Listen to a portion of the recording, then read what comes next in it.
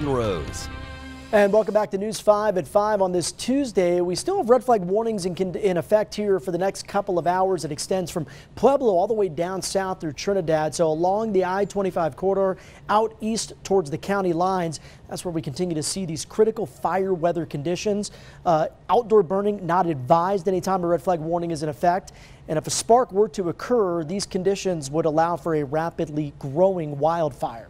So keep that in mind. Now, an area where the fire is, or where that red flag warning is in effect, is Trinidad. Look at the wind here coming out of the west at about 29 miles per hour.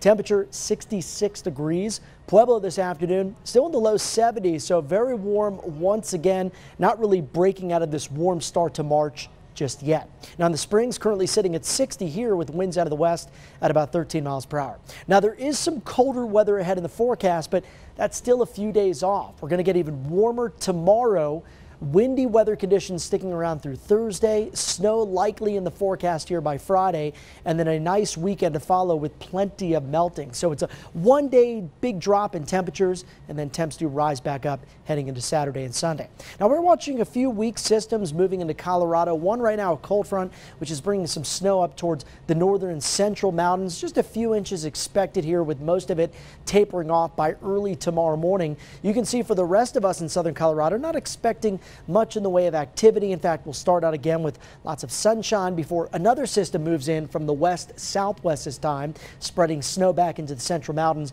by tomorrow afternoon. Overall temperatures continue to stay on the warm side of average and by about 15 to 20 degrees above the average highs for this time of the year. So here is that cold front. This is the one that's going to bring the snow tonight and is kicking up the wind here south and east of the front. As we look out to the west, we're talking about this big transition from spring to winter conditions as we're tracking these late week changes.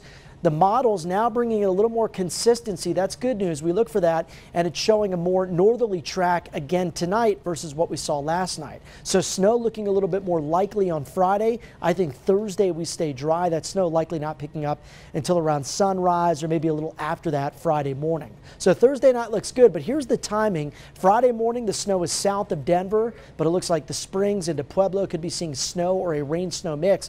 And I think the system has a fair amount of warm air. So notice the south southeast plains, this might be an entirely liquid precip event, whereas areas closer to Highway 50 or even up north towards I-70, it would be all snow. It does taper off Friday night into Saturday morning, and again, that's going to set the stage for some nice conditions here at home heading into your upcoming weekend. So lows tonight dropping down to near freezing. Once again, we'll call it seasonably mild. And highs tomorrow well, well above average with upper 60s in the Springs. Will be around 60 degrees in Monument, uh, 74 for Pueblo, and 75 out east towards La Junta and Lamar. So over the next seven days, enjoy the warm stuff Wednesday and Thursday. We have a big drop in temperatures heading into the end of the week. So Friday, 34 degrees for the high. But look how quickly we rebound back to the 50s this weekend, which offers up plenty of melting. And I would say an early estimate in the Springs probably anywhere between two and five inches of snow.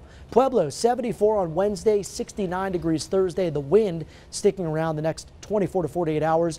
A mixed precip event on Friday, dry, mild conditions for the weekend.